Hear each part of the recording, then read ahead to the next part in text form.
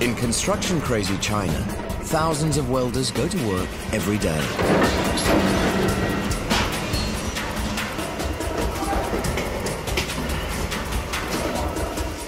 These welders have a uniquely risky job. Just getting to work is an uphill struggle.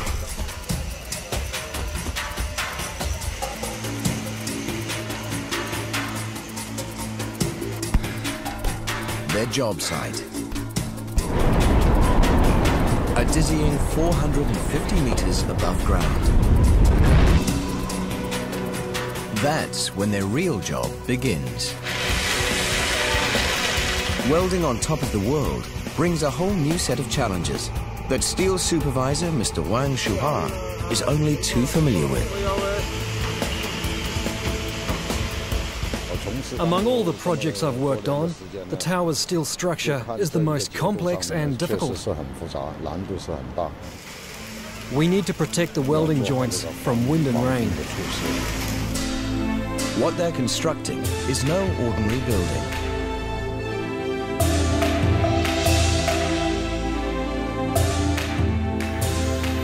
the Guangzhou TV Tower.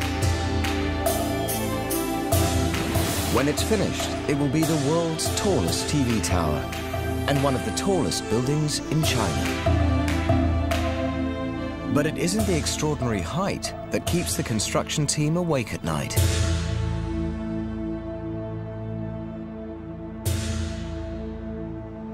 Its design is like no other.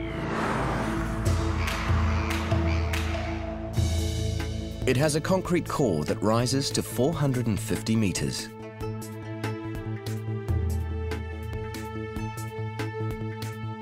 The core is enclosed by a giant steel lattice formed by 24 steel columns and 46 rings. The tower twists midway to form a waist, then widens in an oval at the top. The crowning glory is the TV tower's spectacular antenna, rising another 156 meters, taking the tower to 610 meters, the tallest of its kind on Earth.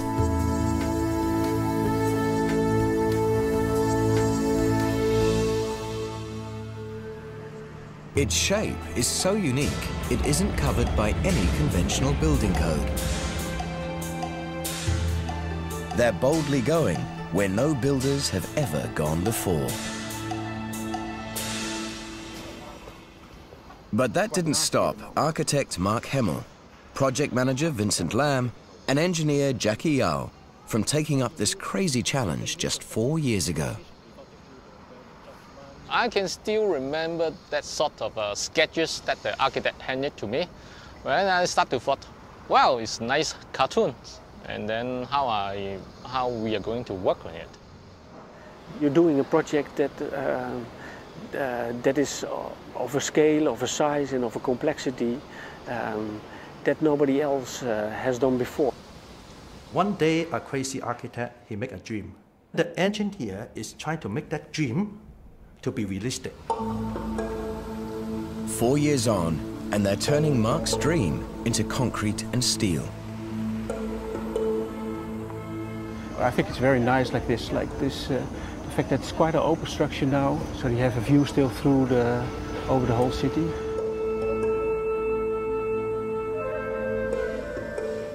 For the last three years, architect Mark Hemel has commuted regularly between his home in Amsterdam and the construction site in Guangzhou.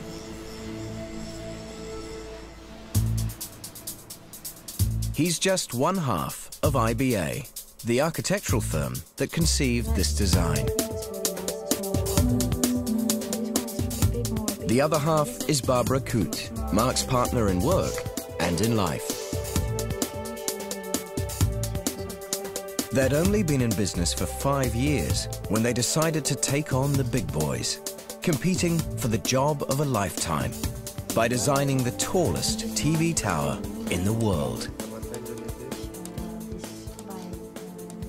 I first heard about the competition and then I, I read and I, I, heard that there was required a, high tower in, in China and my first uh, thought was, well, that's, that's quite big. And she uh, said, uh, well, what do you think? Um, it's, it's nothing, isn't it? Uh, like it's too big, too, too difficult. And I thought, like, no, no, we should do it. The winning design would have to make a powerful statement to the world.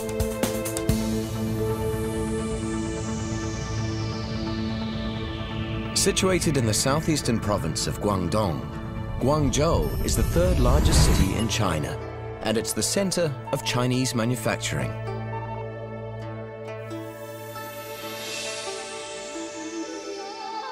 A thousand years ago, the port of Guangzhou sat on the trade route that linked East Asia with the Mediterranean. This was one of the first places in China where East met West.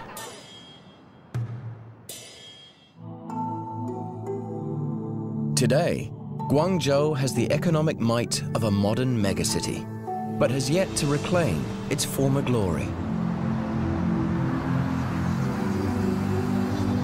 But that's about to change.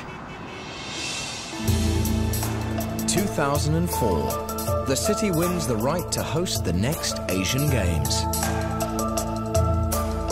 and takes on the mega challenge of a city-wide makeover that must be completed before the Games begin in 2010.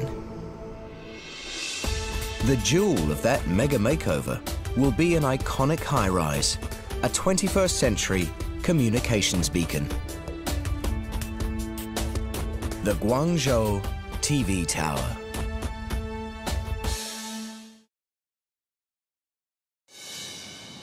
Two years out from the Games, the outer structure is almost complete.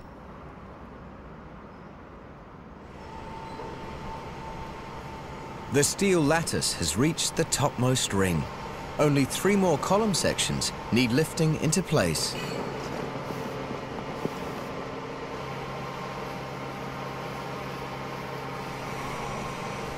Each section is 11 meters long and weighs 25 tons like lifting 10 full-sized pickup trucks.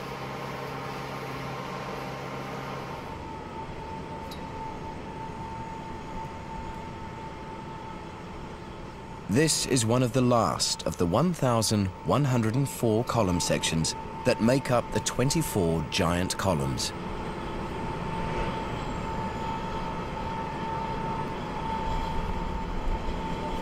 Positioning those columns is the most critical part of this job. Each column must be aligned correctly. Inside the column, worker Liu Chao fastens the brackets into place. There's no room for error. Even a few millimeters off, and the whole tower could morph out of shape.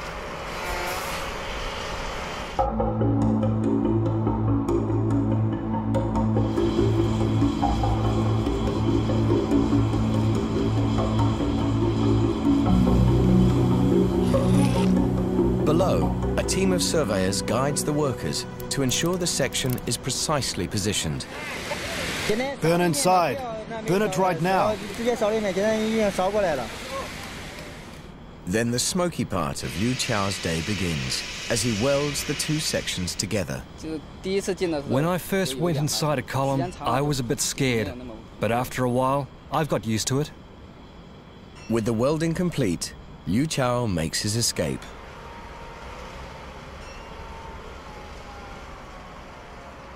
Ten floors below, workers are assembling the steel floor. Because of the twist in the middle of this tower, every floor has different dimensions, so every floor beam and floor plate has been custom made. They work so efficiently, they finish one floor every five days.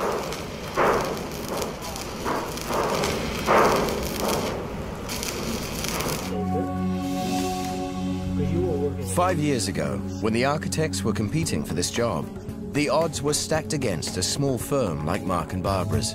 But that just drives them harder.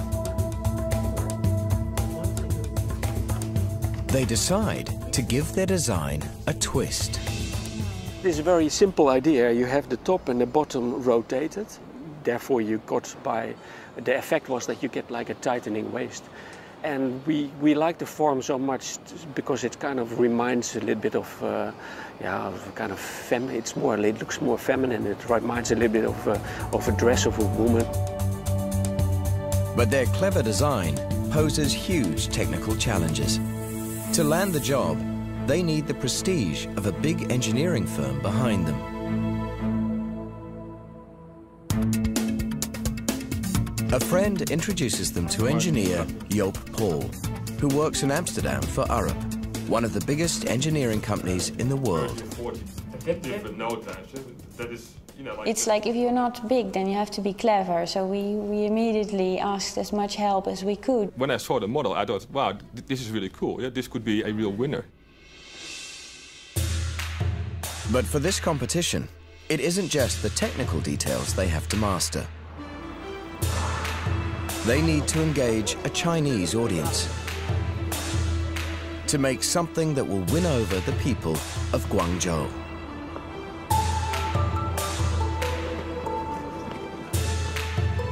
Mark hires Patty Liu as translator and cultural advisor. Tapping into the Chinese love of storytelling, she suggests writing a modern legend inspired by the tower itself.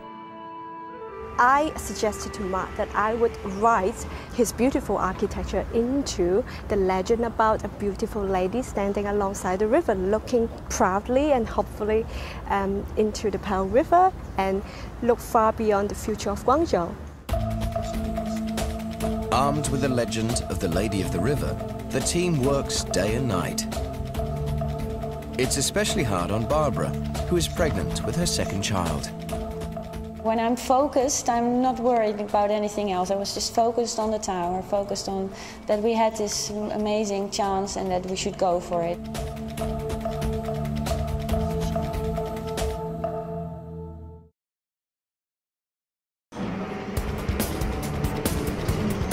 Ju Yu Yong gets high every day he comes to work.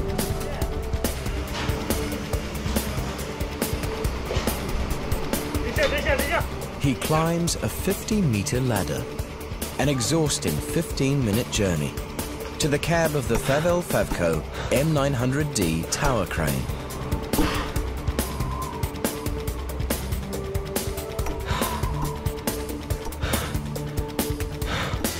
He's been at it for two years now. One of eight drivers who took special training to drive the crane.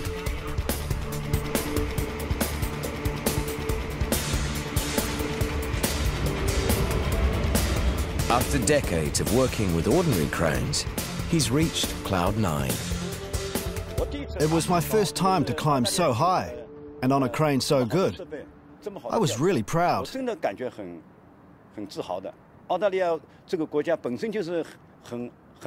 It's an Australian crane. And Australia is a great country, right?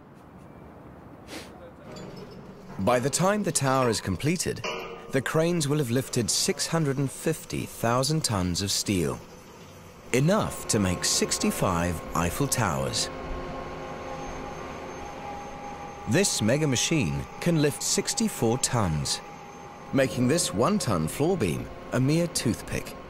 It can take it all the way to the top in just 15 minutes.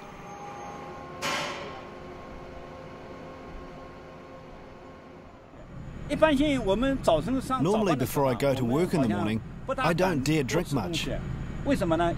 Why? I'm afraid I'll need to pee. Ju Yong hasn't always been this high. This crane can grow along with the tower.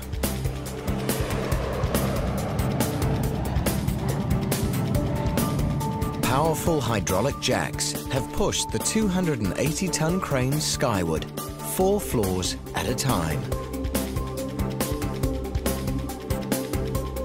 As the concrete core grows at the brisk rate of one floor